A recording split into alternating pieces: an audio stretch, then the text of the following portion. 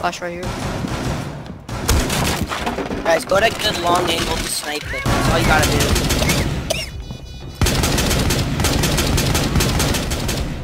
Oh my god. Guys, everyone watch this.